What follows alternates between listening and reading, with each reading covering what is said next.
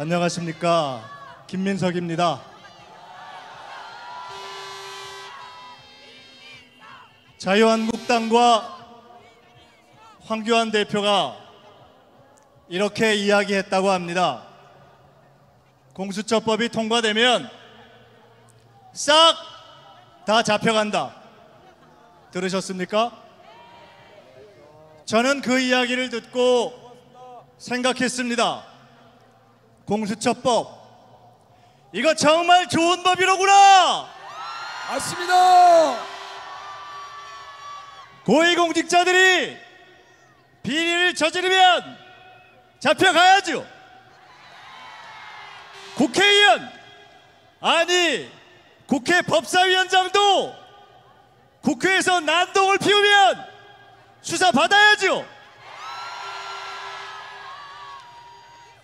마음에 들면 봐주고, 마음에 안 들면 먼지 터는 검사들이 자기 내부에 다른 검사가 비리를 저주면 그렇게 봐줘왔다면 이제 그런 검사들도 수사하고 잡아가야죠. 공수처법이 바로 그런 사람들, 그런 비리, 그런 적폐를 싹 다 잡아가는 법이라면 저는 쌍수를 들고 환영하는데 여러분은 어떻습니까? 맞습니다. 통과시켜야 합니다. 저들이 아는 겁니다. 공수처법이 통과되면 자기들이 싹 다 잡혀간다는 것을 아는 겁니다.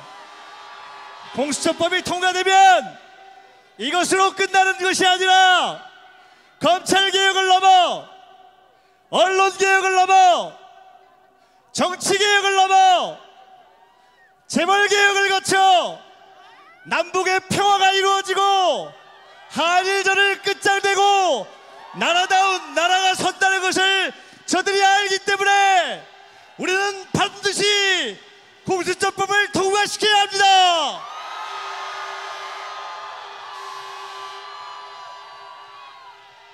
여러분 저는 사실 이런 데 나와서 마이크를 잡을 자격이 별로 없는 사람입니다. 오늘도 우리 시사타파 우리 PD님께서 나와서 여러분과 함께 말씀을 나누라 했을 때 주저했습니다. 주저하고 늘 저는 부끄러워합니다. 제가 20대, 30대 초반에 이 뒤에 있는 국회에 들어갔던 사람입니다. 그리고 열심히 뛰었고 정치도 해봤고 정치공학도 끝까지 가봤던 사람입니다. 그리고 18년을 쉬었습니다. 그래서 늘 지금도 저는 정치가 뭐지? 내가 정치를 해야 하나? 정치를 잘할 수 있나? 사람들 앞에 설 수 있나? 늘 부끄럽고 주저하는 사람입니다.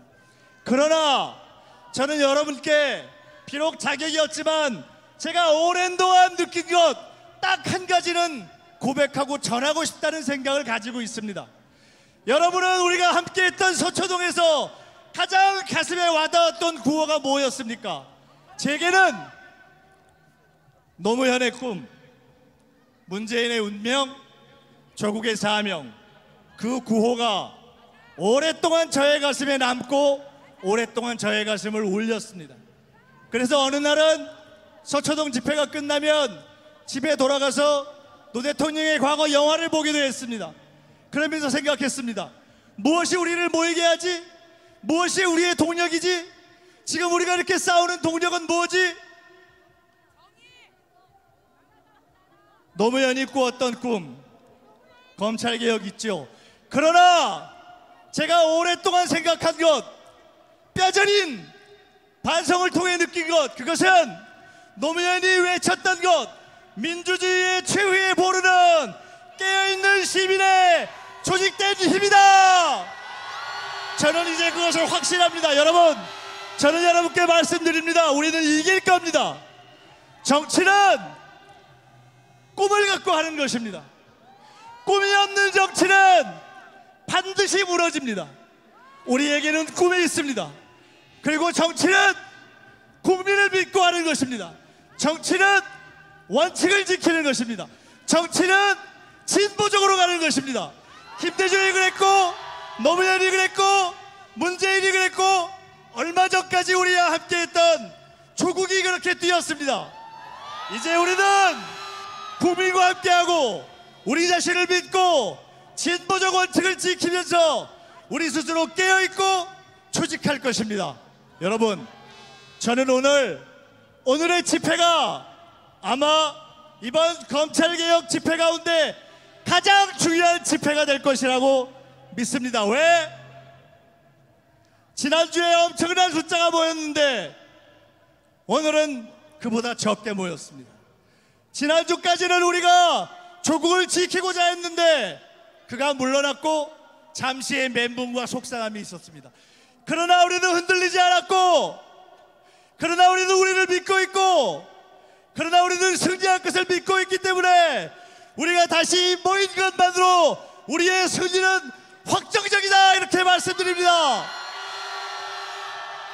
여러분 쉽지 않은 싸움이 될 것입니다. 왜? 저들이 죽을 걸 알기 때문에 죽기 살기로 버틸 것입니다. 우리는 이번 과정에서 많은 것을 배웠습니다. 많은 것을 보았습니다. 검찰의 민낯을 보았고 언론의 민낯을 보았습니다. 우리와 함께했던 때로는 진보적 지식인들, 때로는 진보적 언론인들의 민낯도 보았습니다. 그러나 세상은 그러한 것입니다. 혁명도 그러한 것입니다. 그러나 우리는 가장 확실한 것을 배웠습니다. 우리가 깨어있다.